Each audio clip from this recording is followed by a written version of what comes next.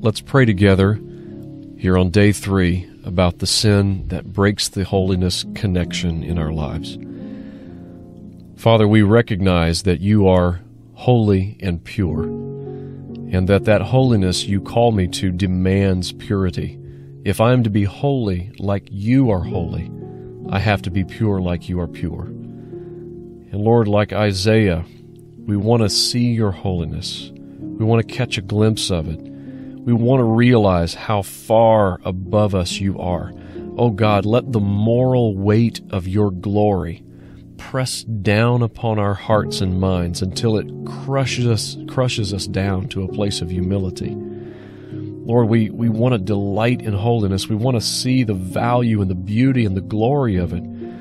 But oh God, when we see the beauty and the, the, the purity and the cleanness of you and your character, it reminds us that we are not like that.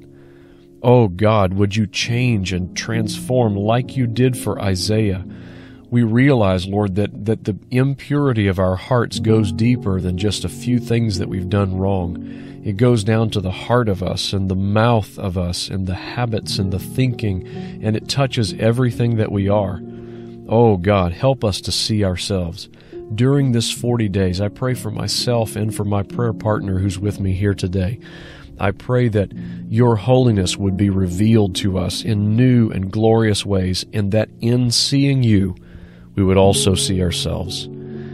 I pray that we would not gloss over it, or like James says, walk away and forget what kind of person we saw, but that we would trust in you and depend upon you to create in us the moral clarity and beauty and purity of your holiness as you did for Isaiah. We pray that you do this in Jesus' name. Amen. Let's continue in praying and seeking God together in your own words.